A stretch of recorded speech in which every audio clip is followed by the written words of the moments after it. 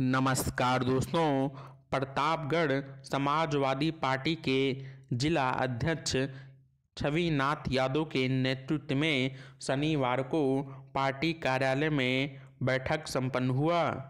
नगर क्षेत्र के मीरा भवन स्थित समाजवादी पार्टी कार्यालय पर शनिवार को बैठक करते हुए समाजवादी पार्टी के जिला अध्यक्ष छविनाथ यादव ने अलग अलग ब्लॉक के पार्टी अध्यक्ष व पदाधिकारियों से बात करते हुए चुनाव से संबंधित रूपरेखा तैयार किया।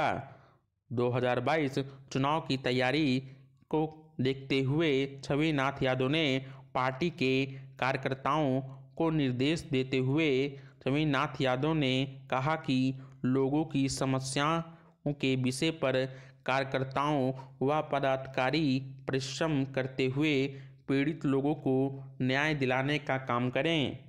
आपको बता दें कि छविनाथ यादव 2022 चुनाव को देखते हुए रूपरेखा तैयार कर चुके हैं और उसकी तैयारी में वह जुट गए हैं। शनिवार को छविनाथ यादव ने मीरा भवन स्थित समाजवादी पार्टी कार्यालय में बैठक किया।